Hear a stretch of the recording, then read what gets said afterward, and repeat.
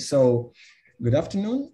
Welcome to the second lecture of uh, this, this mini school on elementary introduction to the category theory. And Amartya and will continue this wonderful and exciting lecture. And uh, I just want to remind everyone so that you can write your questions into the Q&A. Uh, that's the first way. And the second way, because uh, there are not so many of us, uh, you can raise your hand and uh, we can give you a right to talk.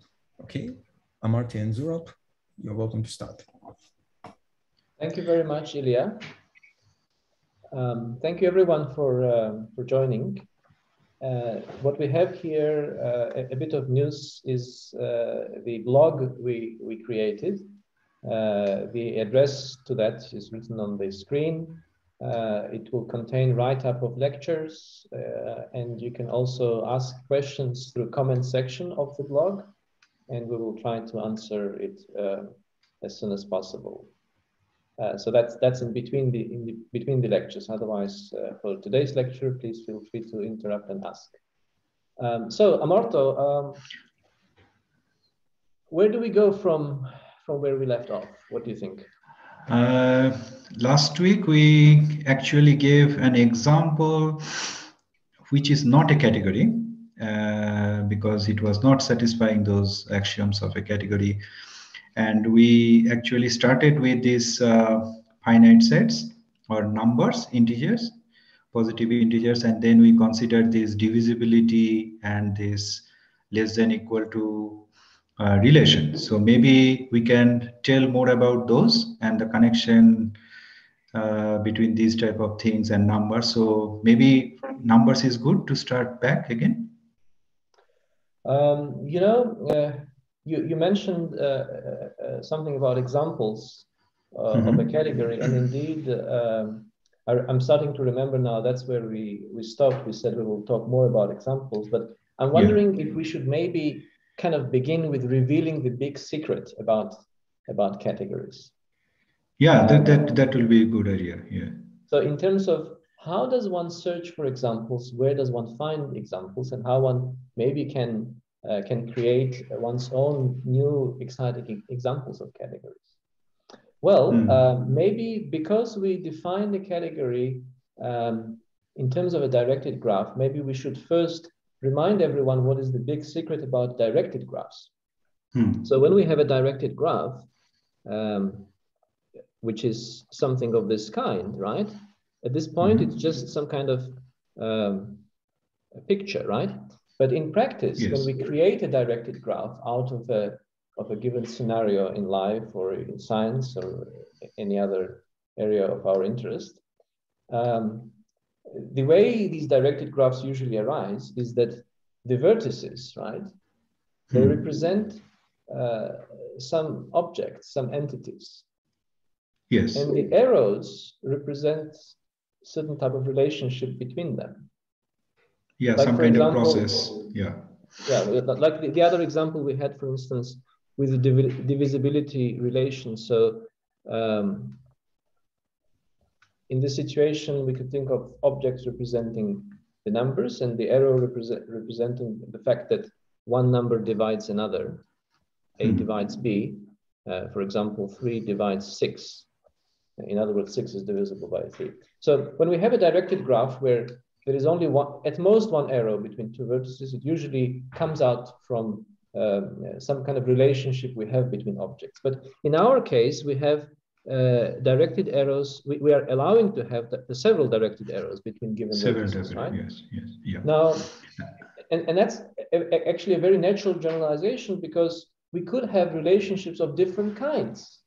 Yes, absolutely. two right? Mm, Okay, so so that's the big uh, big secret about directed graphs that the way they arise from uh, from life, from science, from from uh, any any place we're at in, in our mind, um, is that the, the vertices are uh, the objects we want to, to study, the, the objects we want to understand, and the arrows are uh, some kind of relationships between them. Yeah. But now, in uh, this context, yeah, yeah you wanna you wanna ask something? Uh, I'm that? just saying that maybe we should remind our uh, audience that in general, in graph theory, uh, we do not make any gap between when we draw arrow. And for our case, whether we draw like this and we draw like this is actually essentially the same thing. Right. Yeah, that's an interesting thing to, to draw these arrows in two different ways. I think, mm. if I'm not mistaken, I recently saw handwritten work of Charles Ehresmann, a French category mm. theorist. Yes, uh, yes. I think he draws it the same way as you did in the top line there. oh, okay, okay. Um, yeah. Now, uh, what about composition? So uh, a category was defined as a, as a directed graph with composition, right? So what is the big yes. secret about composition? How does composition arise uh, in, in, in real life scenarios or, or in science? Huh? So the, the big secret there is, is actually quite simple. Um, when you have a relationship from A to B, let's call this relationship F, and when you have a relationship from B to C, let's call this relationship G, right? Um, knowing that A is related to B somehow by, by mm-hmm. the FA, the F holds the information of how A is related to B, and there could be many different With ways. B. So we pick one, and knowing how B is related to C, what we want to do is to make a conclusion from these two relationships. What conclusion can be drawn how is A related to C? To and that's C. how, yeah, and, and, that, and that's how composition arises in examples. Hmm. The composition of, of arrows is the total effect of this relationship. So if, I know A is related to B somehow, and I know B is related to C somehow, what is the conclusion? What relationship does this give me from A to C? Uh, a very simple example of this is, of course, um, for, for instance, um, uh, Peter, uh, who is the, uh, the son of uh, uh, Mark, and Mark has a sister called Tamar, and uh, the combined relationship of course i mean so, so the first arrow was the relationship of being son of and, and the, the other was the relationship of being brother of. Yes. And of course, we, we can think of the combined relationship here as being, uh, so Tamar being the aunt of, of Peter, right? Yes, yes. Um, what's the other way around? Um, if, if somebody is your aunt, your your nephew to that person? I don't forgot about the word. Is it nephew? Uh, uh, maybe we can uh, we can take help from our audience. This yeah. mathematical question. Could somebody help us to to confirm, yes. please? That somebody replied yes. Ilya, Ilya said yes, I think. Ah, yes. Okay, Daniel King. Thank you. Thank you very much. Thank so, you. Uh, relationships compose, and and this composition is kind of our process of making logical conclusion of, I mean, it's it, it, it's some, so basically composition is bringing in logic into this data of relationships. And, and that's why categories are such natural things that occur everywhere. Yeah, and uh, Zura, maybe we also notice that the first relationship was son, second was brother, but the composite could be absolutely different. That's right, yes. And in, in, so in a directed yeah. graph, we, we, don't have that opportunity because hmm. especially when the directed graph has only around one edge, um, yeah. then uh, for example, if, if we take a directed graph where the, all the arrows just rep represent child relationship, right? So hmm. if one thing is a child of another and the other is a child of the third one, hmm. uh, then it then of course it doesn't mean that that this will be a child of the third, right? But, yes, yes. But the first one will be a grandchild of the of the third, right? Yes, yes, absolutely. So, uh, so directed graph doesn't know uh, what conclusions we can draw from existence of relationships between the objects. Hmm. But a category knows. So a category is category. Uh, equipping directed graph with that very much needed information because without make, being able to make conclusions, we will be able to do very little thing, right? Hmm. Okay, so with this little bit of philosophical example, since you said we should we should go back to numbers somehow, um, let's go back to numbers, but let's consider uh, uh, not the divisibility relationship, but something else. Uh, something Maybe product. Hmm? How do we product to numbers? How do we multiply to numbers? If we multiply two numbers, can we represent it nicely, or what does it mean by that? Okay, that's a good question. So are you are you asking how how category theory is going to help us understand multiplication of numbers? Yes, for example, we all know from our childhood uh, this looks like, but uh, can we can we give some light on this simple multiplication of two integers from the categorical point of view? You know what? I think we can. Um, uh-huh, that will be fantastic. And I think uh, the way to do that is exactly will exactly match with what I was going to propose. We we're going to consider. Mm-hmm. Okay, um, so let's do that. So uh, let's take these two numbers, six and 3 mm-hmm. and uh, let's think of them as something more than just a number. Let's think of them as uh, a set of six objects or a set of three objects. One, two, three, four, five, six. Okay, so just it's a bit like yeah. going to um, to childhood where we yeah. define we, when we illustrate numbers. Um, um, the first time we learn about numbers, right? We illustrate them as uh, as a collection yes. of uh, entities of that amount. Entities, yes, yes.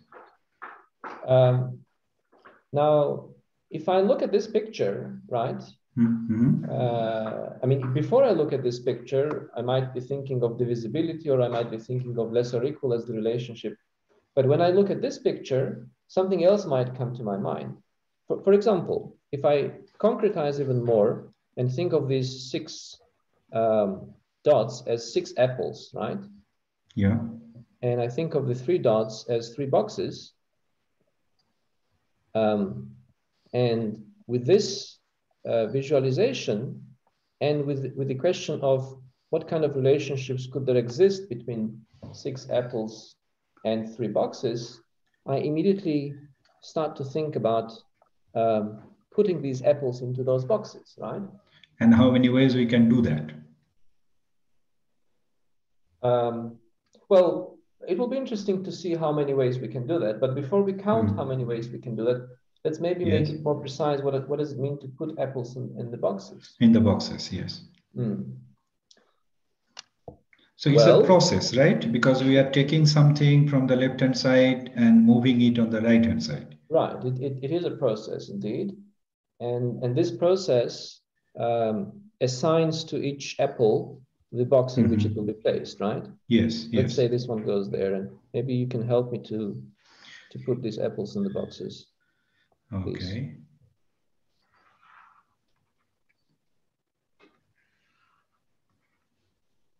And there is no restriction who will Actually, go where, right? Uh, uh Amartya, can I suggest that yeah. we use the same color? So I'm going to erase my okay. arrows and, and, and draw new ones with the same color as yours. Because Maybe the reason why I'm doing that is because I want to think of one way of arranging um, apples into boxes, right? Hmm. As one specific relationship between number six and number three. And of course, what we get here is nothing other than a mathematical function. So a function assigns to every um, object in the in the domain set, so the, the in our case, it's the left-hand side one. Uh, it assigns some object in the codomain set. Yes. Uh, so that's the right-hand side one. And these assignments can be drawn like this. And the requirement for a mathematical function is that everything must must be assigned somewhere, hmm. and, and each thing must only be assigned to a unique spot.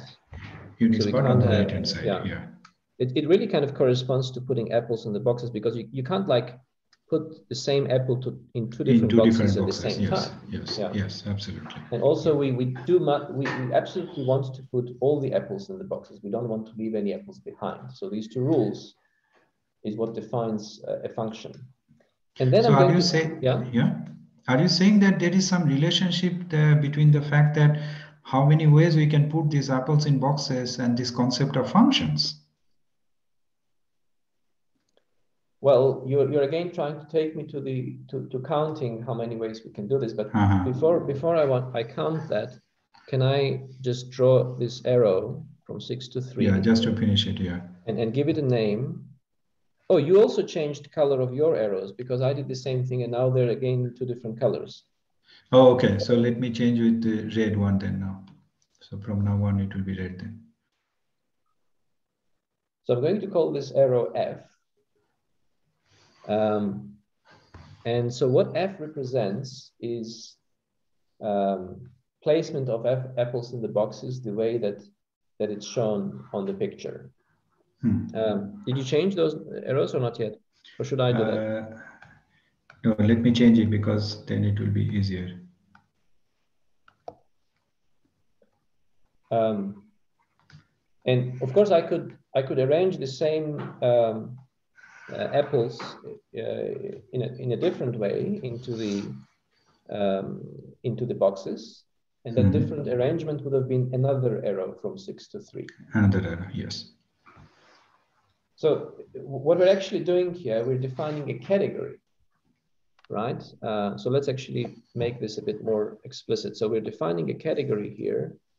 Um, we, we still have to see how composition will work. Um, So the uh, objects in this category are natural numbers. So that includes zero, one, two, and so on. Uh, the arrows in the category are defined like this. So uh, if I have two numbers n and m, an arrow f from n to m is a function um, From a set of n elements to a set of m elements. yeah, but I don't want to use this technical mathematical language here. But then we can Uh, write it like n equal to like this. But yeah, then but maybe this is already this is already looks very mathematical. Um, okay. okay, that's okay. That's fine. If if the if the audience forgives us to do that, then we can do that. But So then we need to put some uh, some Yeah. symbol here because not to create a confusion between this n and that. Yeah, you see, and, and then the technical notation starts to enter this story. I, I don't want that. I don't Mhm. like that. Um, can we maybe can, can we do the following way? Can, can we say i- i- i- is a um, uh, is a function uh, mapping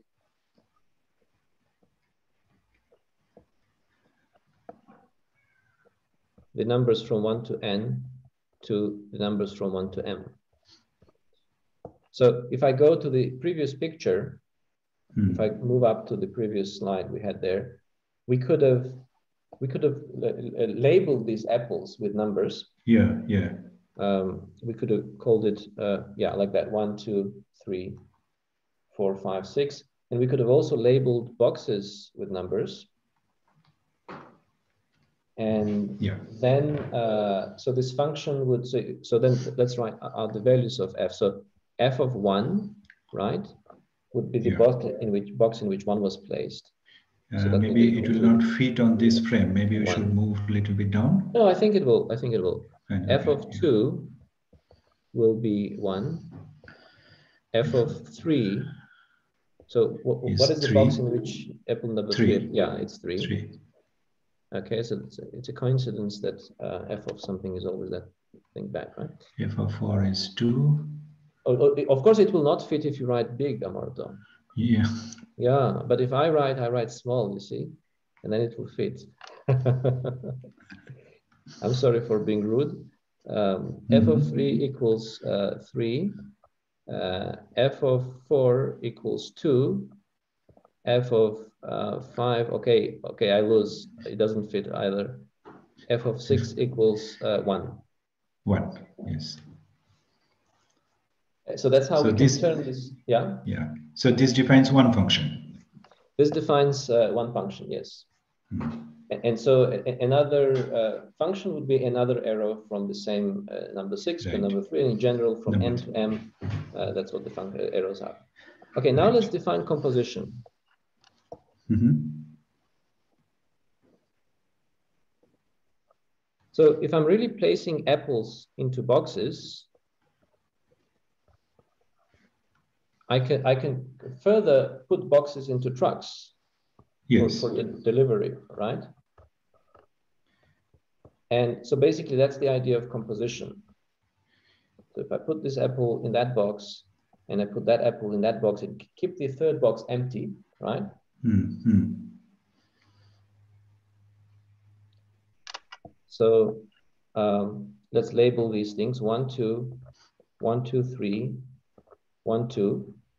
So we have one function here um, that, uh, so if this, if this is f and that's g, so we, we, we now have f representing something different than what we had before. Maybe that's not a good idea. Let's call this h, um, h and g. So yeah. h of one is one, and h of two is is two, right? And, yeah. and according to what you're drawing there, so the, the, the, first and the second box is going to the first car. So g of one is equal one to one, one, and g of two is equal to one, and, and g, g, of three is equal to two. Two. Um, so as a result of first putting apples into boxes and then putting boxes into the cars, mm. uh, as a result of that, we will get that the apples have been distributed in the cars right? And yeah. that result is the is going to be the composition. Right. So this is a very, very practical examples where we define first functions and then we define the compositions of the functions. Yeah. So on this mm -hmm. picture, um, there are two ways I can I can do this. I can I, I can follow the arrows, right? One goes to one and then one goes to one again. So the composite will hmm. have one mapping to one there, and I'm using the purple color this time. And um, two goes into the box two, and, and the box two goes into the car one. So two will also map to one, right? Two, yes. There will be there will be no apple being placed in the second car because all the apples went into the boxes that went into the first car. And so mm. mathematically, uh, we could of course write this in the following way. So we say G composed with H evaluated at X is um, G evaluated at H evaluated at, at X. Yes. So X is the apple, H of X is the box in which apple was placed, and G of that box is the car in which the box was placed. And uh, maybe we should uh, look this third, third case where we have a box, but there is no apple which can put it in that box. So that third box doesn't play any role in this composition. Uh, maybe you can draw that on, on the other side of the board while I'm uh, writing this one up. I'm not sure I understood what you said. Uh, I'm saying that uh, we define this G compose F, uh, sorry, G compose H, right?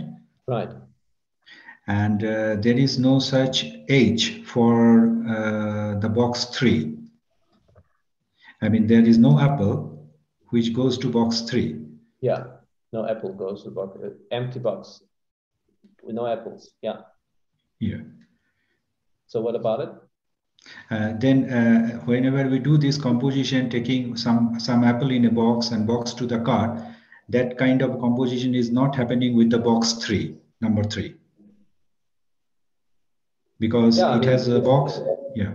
You're right. I mean, the, the fact that we had a third box, hmm. that information was lost. We only know that. Yes, yes. Uh, with the composite, we only know which apples have been placed in which cars, and and uh, what what happened in the middle. Of, uh, so so composition does lose some information. I mean, just like in the other example, hmm. if I hmm. go back to the other example, um, uh, when uh, Peter is nephew of Tamar. Um, we don't know uh, with this in, just with this information we don't know who is Mark. Hmm, we, hmm. we, lost some information Absolutely. about Mark. Yes, yes. Okay. Okay. Hmm. Um, now, okay, so uh, we, we're kind of setting up a category here, right? We, we're, we said what the objects are. We said what Hmm. the arrows are. We described what composition is. And now we need to get convinced that this will be a category indeed. Hmm? Uh, but isn't it we also mentioned that every uh, object should have some extra specific morphism Yes. arrow between itself? Well, I mean, that's, that, that, that's our second axiom, that such arrow will Uh-huh. exist, right? yes, yes. Um, now, one could go on and, and one could check that. Um, but I'm, I'm also kind of thinking uh, about time. So maybe Hmm. we we don't check that it's a category. We just maybe make a note that um, uh, it's kind of intuitively not difficult to see that it should be a category. But if it is difficult, one would have to spend a little bit of time on it. Time to, Um, that, yeah. So I'm going to add um, um, the explanation why this thing is a category in the Mhm. blog. Um, and so uh, the, anyone listening to this could could could try to see himself or herself why, and then and then could Mhm. test the answer against what what will be in the blog. So instead of Yeah, checking that it's a category, let's, let's believe it will be a category. So Yeah. that, that means that the associativity law will hold. So, so remember that being a category means that um, the associativity law holds. So when I Yeah. have um, three arrows, um, F, G, H, I compose them this way, and then with F, the, that way is the same as this. And axiom two requires for every object uh, there to exist this identity arrow, right? yeah. So that composing uh, something with one side or on the other side will always uh, give uh, that same arrow. That- So this is the summary of the, summary of the Mm. axiom. And one can check that these axioms hold. Um, and it's actually not too difficult to check. I mean, at least let, let's write down the algebraic um, kind of the, the symbolic computation verifying that. So if I really go back to uh, the, the, the functional way of thinking about these arrows instead of pictures. Mm. Um, so if I take that composite function and apply to x, right? So maybe in the meantime, I write the other one. Oh, let's use the same color. Uh, that's going to be the same as f applied to g composed with h applied to x. By the way, composition was defined. And by the way, g composed h is defined, that's the same as f applied to, so we, we keep that part and then we say, say as g applied to h applied to x. Right. Um, and so um, that's one side uh, of, of this equality. And the other side um, will have a similar calculation leading to, to the same answer. So Yeah. um, Amartya didn't leave too much space for me. So I'm Oh, sorry. a little We cannot also here. move it here. No, no, we can't move anything on this board, unfortunately. So a little insertion there. I could have computed the other way around, where I, I first try to apply that composite to a variable x, and that's the same as this thing applied to h applied to x, and that's the same by definition of f composed with g, f applied to g applied to h of x. And um, we, we do get the same answer in, in both Yes. cases, as we see here this exactly matches with that. And also for, for those uh, identity laws, we, um, we get that um, that exactly matches with, with, with that. And so that shows that, that equality And, holds uh, and so on. We, we hope that we didn't make any typographical mistakes because our Um, audience, we are very careful also. Yeah. So this is just kind of the computational um, part of the story, but we could also Mhm. draw pictures and get convinced that these axioms hold just by looking at those pictures. Right.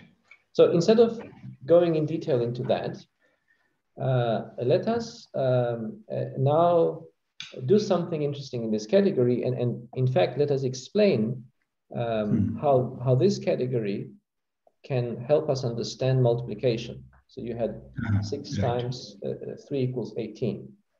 Yes.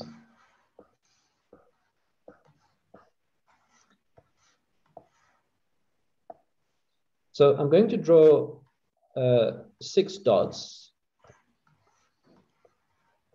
uh, in a row like that, well, in a line like that. And then I'm going to draw three dots in a line like this. And then I'm going to draw six times three as a grid of dimension six by three. Because then I get exactly six times three, in other words, 18 dots, right? 18, 18 dots, yes. So I'm kind of representing number six as um, a set of apples or boxes, some, some set of mm. objects. Um, I mean, in, in our in our case, we we very explicitly said that uh, we, we, kind of when we start describing what arrows are, mm. we, uh, we, we start thinking of the number as the set of all the numbers from one to to that number. Yes. So we could really think of this as um, numbers one, two, three, and so on, um, and the same on the other side. Mm. Uh, and then we could in some way number the things in the grid as well. But let's not go into those technical details. Let, us just look at these two pictures. Uh, there are two obvious functions here. So if I think of this as a set of objects and that as another set of objects and this one as well, there are two obvious functions going that way and this way. Um, so do you, do you see what I mean, Amartya? Uh, you mean we have here 18 dots here we have six dots and here we have three dots. Yeah. Um, okay, how are they related, 18 and 6? So how would you how would you place these 18 uh, items into into these six items? Is there some something that comes to mind when you look at the picture? Maybe well, one way we yeah. can put three, three uh, associate three dots with one dot yeah. So you, so you take so take all of these into here, right? Yes, yes, something like that. Yeah. So it's a kind of projection, isn't it? If, if we think of this, yes, yes. If the x is going that in that in that direction, then we're projecting. Mm-hmm. We can project yeah. onto this six by by layering these things like that. So these three map along those dotted lines to that dot, and the next right. three map to that dot, and so on. Yeah. So we can actually make a simple like this. Understand. Yeah. And but, similarly, but not yeah. draw, draw, those circles because then it's going to interfere with the. I, I want to draw on the same picture uh, an, another map going from 18 to 3, another function going from 18 to 3, ah, okay. which is going to and be then, the other way around. Yeah, so we can put all these six dots in one dot. That's right, yes. So let's let me color code them. So this is going to be uh, a purple uh, function, purple arrow, and the other one. Uh, let me let me use uh, what color shall we use for the other one? Okay, I'm using using blue. Blue, uh, great. Um, so all of these six, all of them would be placed in here and, and, and right. so on, right? Right, right. So there are these two functions we have from 18 to 6 and 18 to 3. Right. Now, uh, if we think of this grid as a kind of physical space to move around in, right? Mm-hmm. And if I think of, uh, let's say, number um, uh, four um, as time interval consisting of four instances of time, right? Mm-hmm. Mm-hmm. And I think of if, if I build some function from from this set, uh, from, from number four, in other words, to, to number 18, and I kind of intuitively think of that, and this is going to be green um, color, intuitively think of that as some particle moving around the, the grid. So maybe the first, at first time instance, the particle mm-hmm. was there, and at the second time instance, the particle is here. Mm-hmm. And at the third time instance, the particle is there.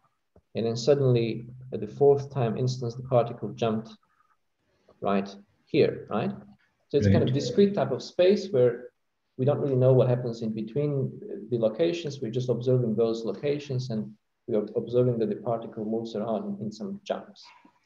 Of course, we, are, we, I mean, any physicist and any mathematician understands that uh, such uh, a, a, trajectory or, or the, the movement of the particle uh, is uniquely determined by what happens on the by projecting this movement onto the two axes, right? Hmm. Um, so we could read off the, uh, the, the purple coordinate of, of the first location um, um, each time. So um,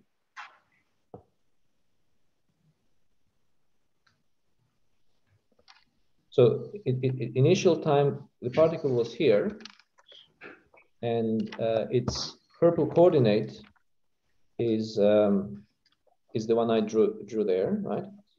So in the second instance of time, the purple coordinate will be this one. Do, do you agree with that? Yeah. Yes. Yes. Yeah. And then the third one will still be the, the same as the first, and the last one will be uh, that one. Oops. Sorry. Something else. Yes. Yeah.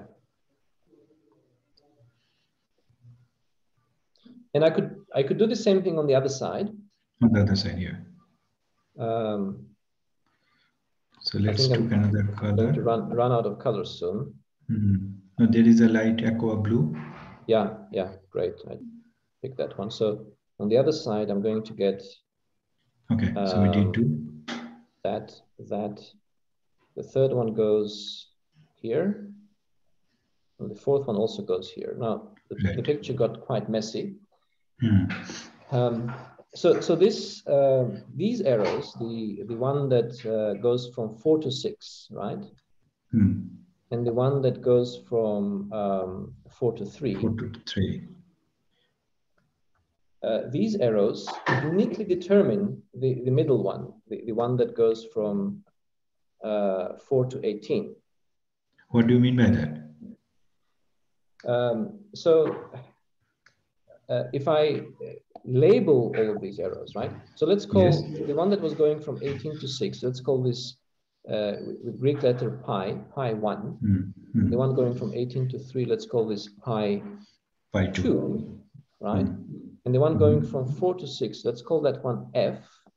And the one mm -hmm. going from 4 to 3, let's call that one um, uh, G, right? Mm-hmm. So um, and, and, the one in the middle, let's call that one h.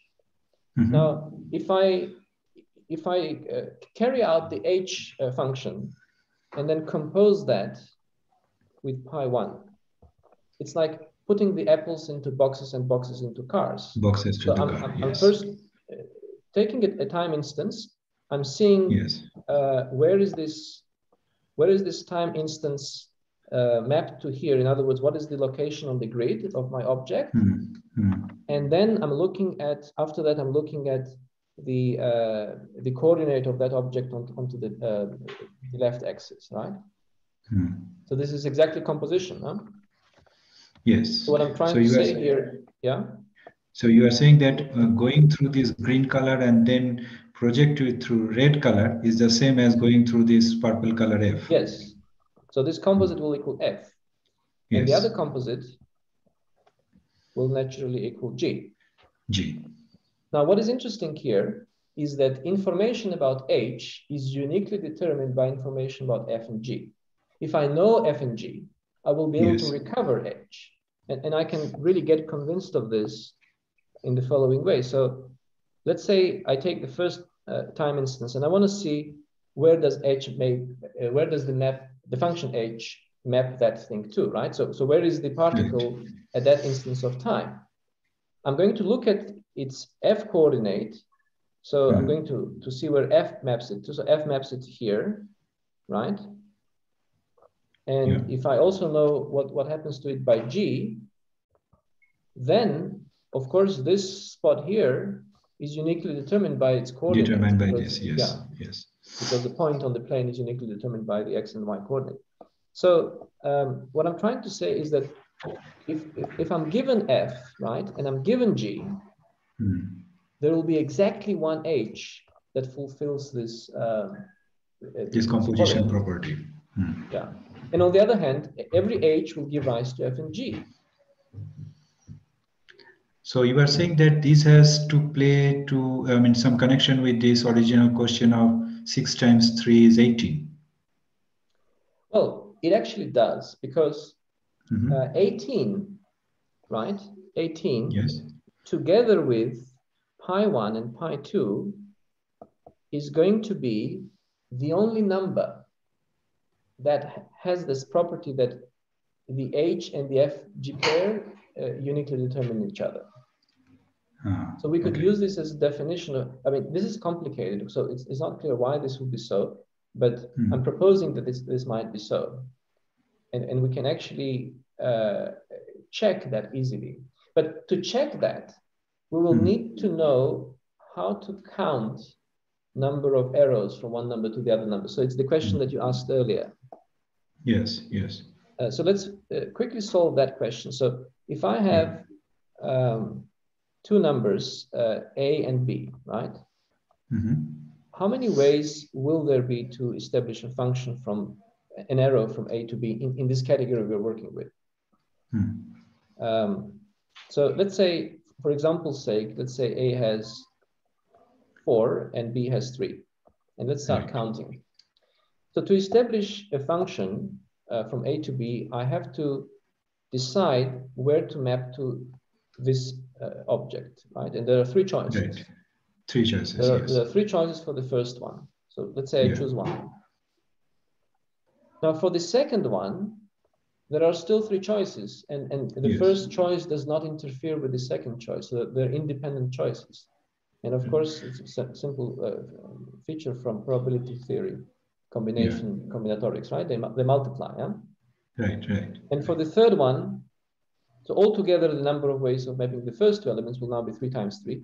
And for the third yes. one, there are still three choices. So that's another times three. three. Mm. And then for the fourth one, that's also three choices. I'm just drawing one of them. So altogether, mm. it's three times, three times, three times three. And of course, that arises as, um, so if we had four and three, then the answer is three to the power four. So in general, the number of arrows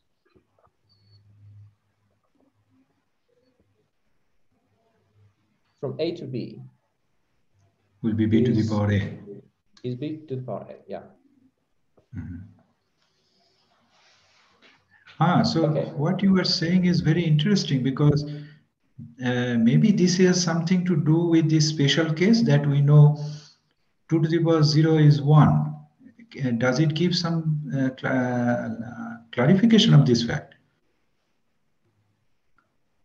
Uh, I think so because, but um, yeah, I, I think so. But uh, can we come back to that question after? Yeah, after we can uh, answer your, your previous sure. question. Why, okay, why sure. 18 is is is equal to six times three? 16 times three. Okay, let's do that so, first here.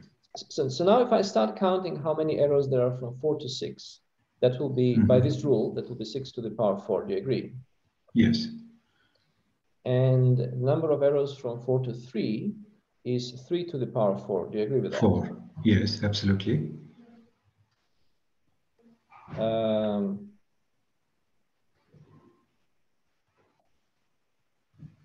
okay. Now, do you remember what we said? We said that uh, every arrow from 4 to 18, right? Yes. The information about arrow from 4 to 18 is uniquely determined by the information uh, um, about an arrow from four to six. Yes. And and uh, and four to three. Four to three.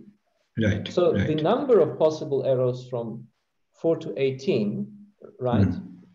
will be exactly uh, um, uh, the number of arrows here multiplied by the number of arrows there. -huh. So we multiply these two big numbers. So this is exactly going to be the number of arrows, uh, whatever object object is here. We don't know yet it's 18. So let's pretend we don't mm -hmm. know it's 18. Yes, um, yes. That to the power four. Right. Because every arrow from four to six, uh, four to 18 gives rise to two arrows, one, for, one from four to six and the other from four to three.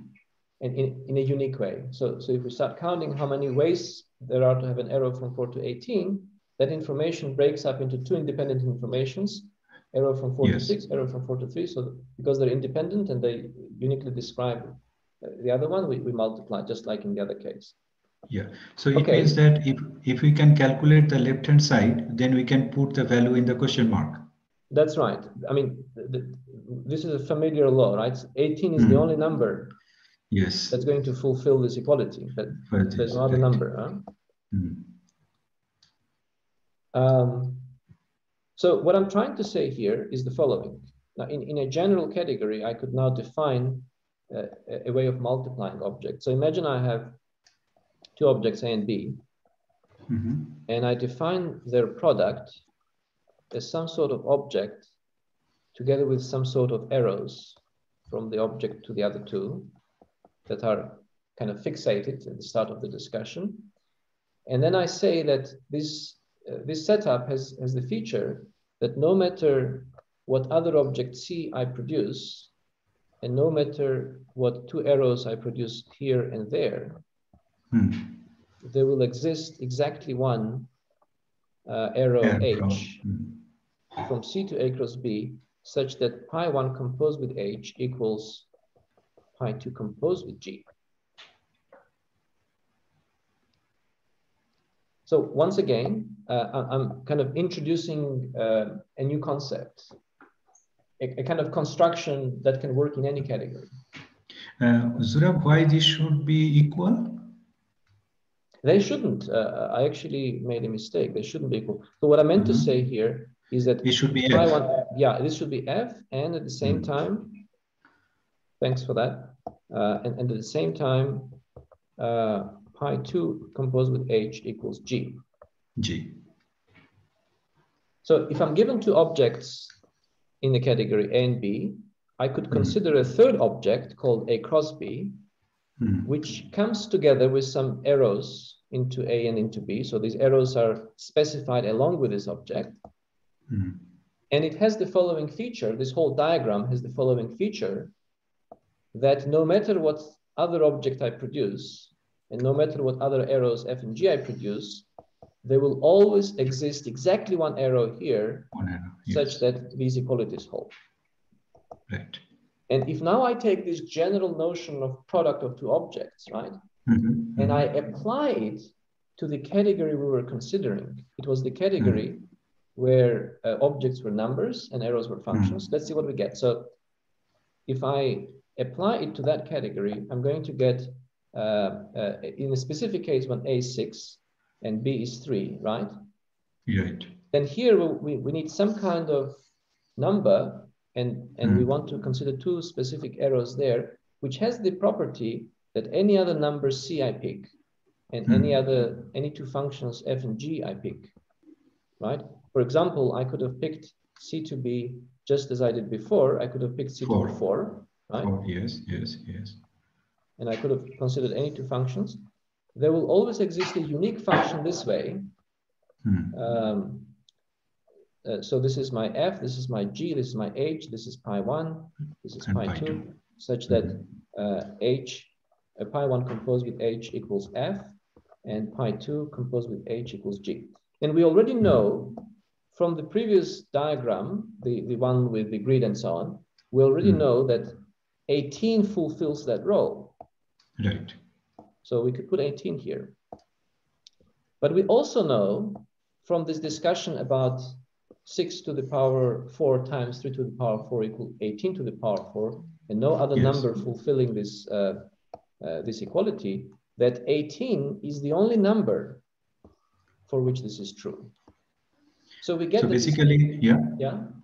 So basically, instead of 4, if we take any number and take this power, of course, it is true. And that is why 18 is the right person to satisfy that yeah. condition. Yeah. Yeah. Exactly. Yeah. Um, because the number of arrows here will always equal to the number of arrows here times the number of arrows and there. other side, right? Because of the property that for every f and g there is exactly one h. So one h, right? Decomposition of every h into a pair of f and g, and, and it's unique and, and F and G are independent of each other. So numbers multiply. Um, mm -hmm. So what I get is that there is a general notion of a product in a category. So this is a, a general notion of a product inside mm. that, that can work inside any category. Any category. And when, yeah, and when specializing this notion of product, this general notion of product, to the specific category where objects are numbers and mm. arrows are functions, the way we described before, mm. we get uh, multiplication of numbers. Right. So basically it gives this formula of a to the power n times b to the power n is a b to the power n. Yeah, exactly. In the, in the general case, this, um, in, in, terms of counting the arrows, uh, mm. uh, we get the, the, formula. I mean, this property can be seen as the formula uh, uh 6 to the power 4 times 3 to the power 4 equals 18 to the power 4. Um, but um, let, us forget about that formula for now. So I, I want to emphasize what, what, what, happened here. So your original question was to explain what is multiplication of numbers using right. the categorical uh, thinking, right? Mm -hmm. And I, I, and I did that because I gave, I'm giving you a definition of product of two objects that works in any category, irrespective of whether your category has anything to do with numbers or not. Numbers, yes, right. And then by applying this construction to a very specific category where objects are numbers, we mm. get exact multiplication. And guess what, Amartya? We could take this same diagram, the one yes. we used for defining general notion of product, and reverse all the arrows there and state the same condition. So now we will have some object, I'm going to call this um, question mark here, something obtained from two objects A and B, but now arrows go the other way around. I'm going to call this iota 1 and iota 2. And mm -hmm. this other diagram uh, has the property, just like the other one, that if I have any other object C and any two arrows F and G, right, then there is, exists unique arrow H going this way, such that H composed with iota 1 equals F, and H composed with iota 2 equals G. G. So what I did now is, is what is called in category theory dualizing your, uh, your statement. You, you reverse the direction of all the arrows, and then you also are forced as a result to reverse direction in which things are composed with each other. Mm -hmm. um, and, but then you so, everything else stays the same. So we keep the object same, but we reverse the arrows. We reverse the arrows, we keep the object same. Now, yes. an interesting question here is, what will happen if now I take this specific scenario and I specialize that to numbers, the question is, what number am I going to get there? So if I have six and three here, six and three, what number I'm going to get here? And, and the wonder is that we can answer this question again using multi, uh, using exponentiation. So whatever yes. number I'm going to get here, it will have the property that four to the power of that number, right? The number yes, of arrows yes. from question mark to four right. is going to equal the number of arrows from six to four times the number of arrows from three to four, right? Three to four, yes. So it's going to equal number of arrows from six to four, which is four to the power six, times. And here I want to ask the audience, what do they think this number is, which fulfills this equality? uh, maybe they can we can cheat because from our no, high school we, yeah. What, oh, no cheating. cheat? okay. No cheating? Okay so we have an answer. Uh, do we have an answer? Not yet. Let's see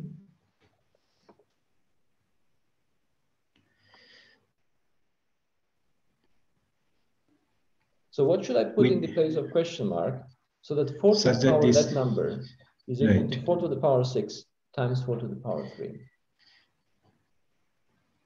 9. 9.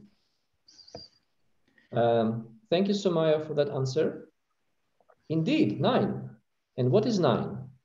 How did we get it? The power oh, 6 x, plus right? 3. Yeah, uh, it's 6 plus 3. So you see what happens here. When I use this direct application, I get concept of multiplication of numbers. Right. But when I reverse arrows and then apply to numbers, I get the concept of addition of numbers. So now multiplication of numbers and addition of numbers arise from the same categorical idea, this, this idea, which read in one direction gives us multiplication yes. and read in the opposite direction when arrows are reversed gives us addition. So basically you are saying this addition and multiplication are opposite processes. Yeah, which is something that nobody ever before could have imagined no, because nobody never. thought of this like that before. Because we have been taught that multiplication, first we have addition and then we have multiplication. We never thought it's, it's just opposite way of the process. Right. Yeah. Uh, now we are approaching the, the, limit of our time, but yes, I, I do want to say one thing that uh, the subject of elementary number theory hmm. right? What does it do? It studies how multiplication and addition interact with each other. Hmm. But now we see that multiplication and addition arise as different instances of the same idea in categories. yes. So we can bravely say that at least the language of category theory fully captures the entire subject of elementary number theory. Now, Definitely.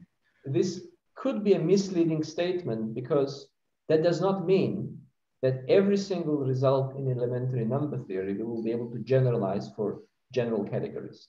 This category that we looked at in this lecture, this category of numbers and functions between them, this category is a very, very specific type of category.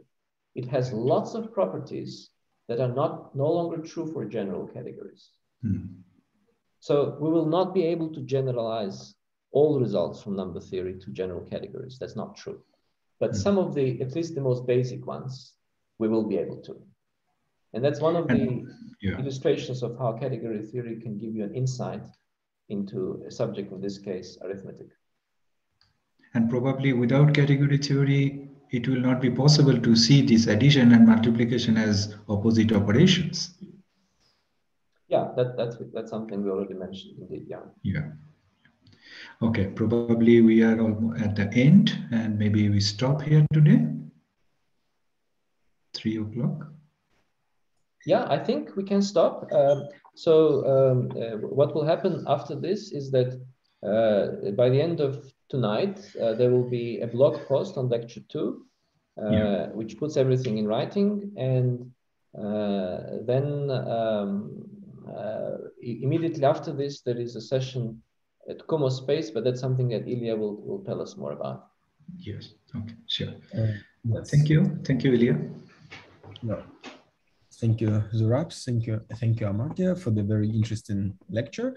And uh, before we go to the what's happening afterwards, because I don't see any questions, and maybe you know if the people want to ask any clarification questions, they're welcome to raise their hand or they can type it in the Q&A.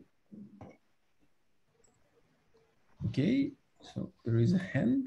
Okay, so let's give Andrew and afterwards Joseph. Andrew, you're welcome to ask a question.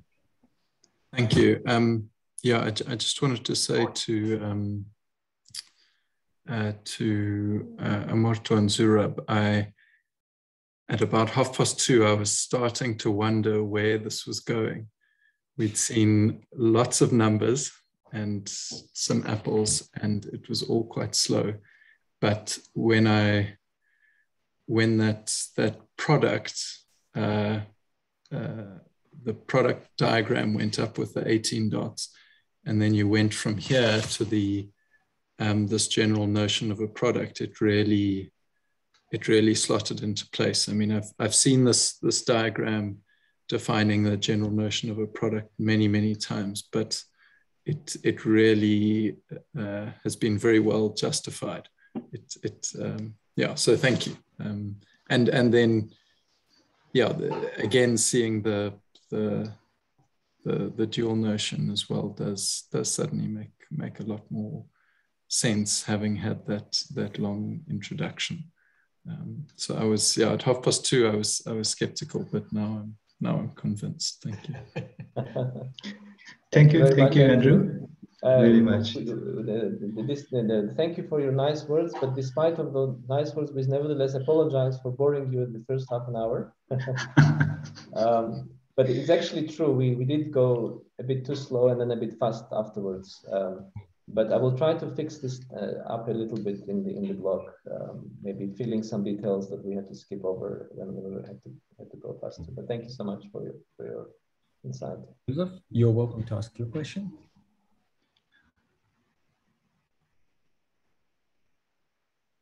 Ah, is there a name for the inverse of the general notion of a product?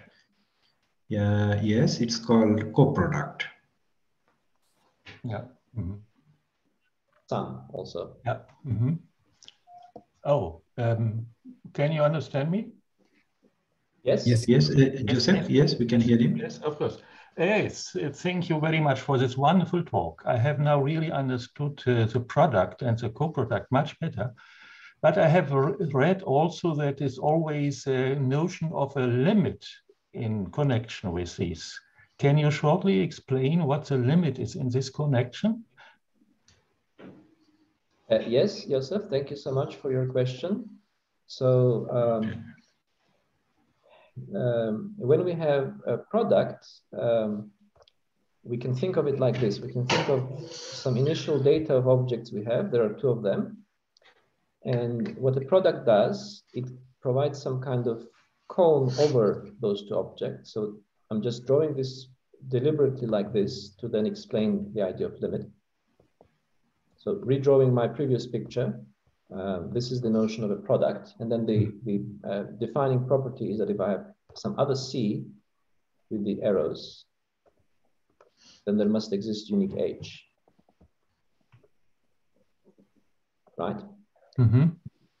um, now, what if these two objects that I started with, uh, I mean, at this point, these two objects that we're starting with are unrelated to each other. They're very independent of each other. And we saw the role of that independence in terms of, for instance, counting the number of arrows by multiplying and so on. But what if they were already related to each other in, in, in various different ways?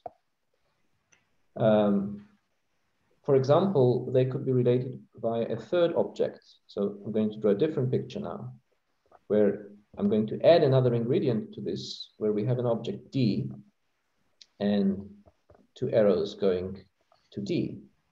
And um, just as an example, this, these two arrows could be the inclusion. So I could think of A as um, something having two, two members in it, and D having three members, and B having maybe um, one member in it, or maybe three, and I'm just going to add one more to D. Okay. And so now I'm looking for this uh, substitute for A cross B, but this substitute should also be interact in some way with D as well. So there will be not just two arrows going to A and B, but there will also be an arrow going to D. And moreover, I want there to be an invariance rule that when I uh, apply this arrow and then go th that way, it should be the same as going directly there, mm -hmm.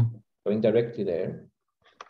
Uh, Okay, so I add this extra um, restriction on my diagram of projections. So this will be pi 1, pi 2, and pi 3. And then the condition is the same if I have some other object C with similar setup. So now this time there are three arrows. Uh, let's say F, G, uh, and R. There must exist unique H such that all the composites arising from triangles as before. So before we had h composed with pi 1 needed to be equal to f, and h composed with pi 2 needed to equal g. Now we will have h composed with pi 1 it needed, needs to equal f, uh, h composed with pi 2 needs to equal g, and also h composed with pi 3 needs to equal r, okay? So this is how I modify, kind of generalize the notion of product to, to get something that will be called the limit of of this diagram.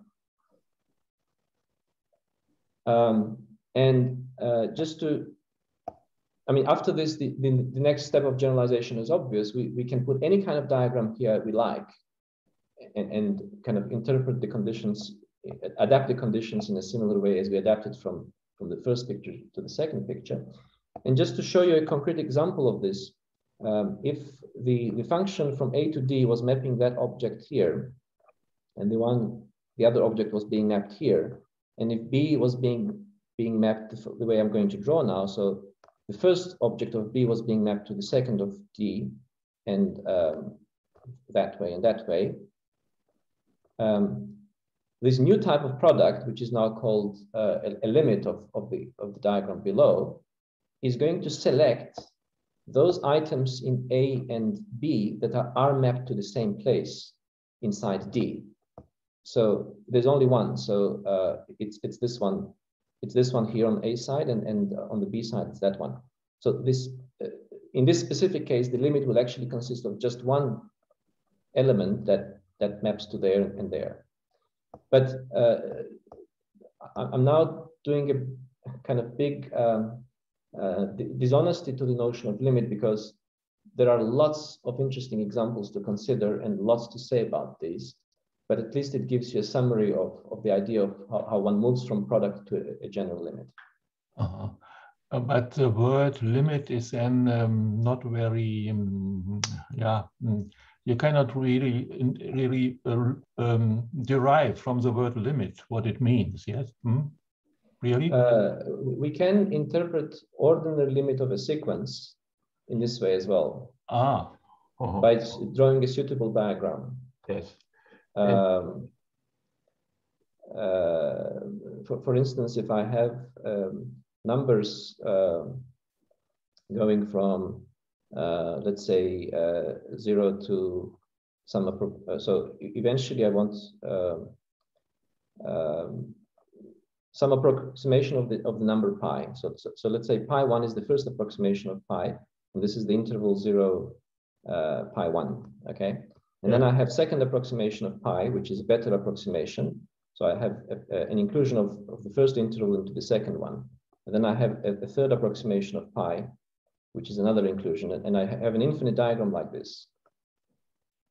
Um, and I take the, uh, well, in this case, now we want the dual notion, the, the colimit. I take the colimit of that diagram. It will be exactly uh, the, the, uh, the interval zero pi. Uh -huh, uh -huh, uh. Ah, yes. Mm -hmm. Thank you. Yes, yes, I understand. Mm -hmm. -hmm. -hmm. And you see this um, really if you at least look also at the cones of uh, three and, and more and more objects. Yes, the product of these. Yeah. Mm -hmm. Is it true? Sorry, I didn't didn't understand that one.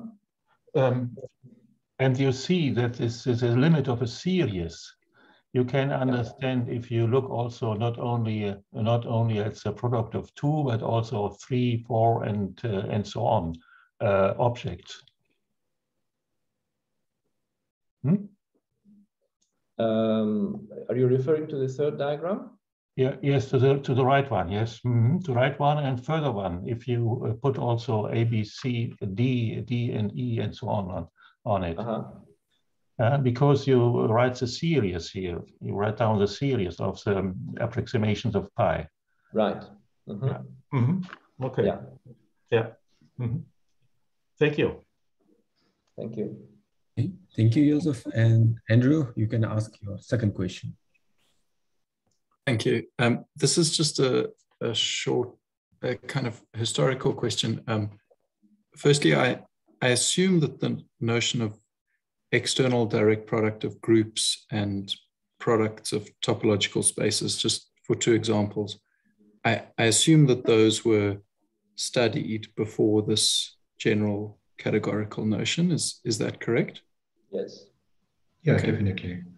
Okay. And, and then were there any sort of product like notions that were being used that were that were found not to fit this this more general definition absolutely uh, for example in graph theory there are various ways you can define product of two graphs and only one of them is a special case of categorical product going back to vector spaces and abelian groups also, we have a notion of tensor product, which is very important in physics, right? So tensor product of vector spaces is neither product nor sum. It's a, it's a new type of operation. Yeah. And um, we, we do want to talk about tensor products in category theory as well. So what one does is one equips a category with an additional structure of combining objects into something that will be written even as a tensor product of the two objects. Uh, so a more axiomatic approach is taken there where we add to a category additional information instead of extracting the information from the existing category. So there are indeed the uh, constructions with objects which are neither limit and colimit. And, and then if we want to consider those, then we'll have to um, develop uh, categorical machinery for dealing with, with, with them in, in, the context of the general category. Okay, thanks. Thanks very much. Thank you.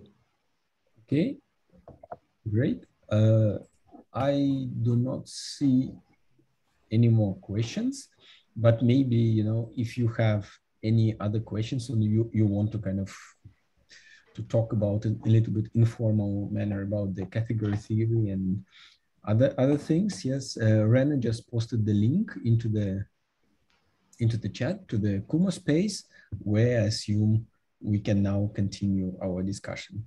Okay, let me thank the speakers again. Zurab, Amartya, thank you very much for the very interesting lecture. And of course, we're looking forward to continue our discussion or kind of our lectures next next week. Thank you very much. Thank you very much, Ilya. Thank, thank you very much, Ilya.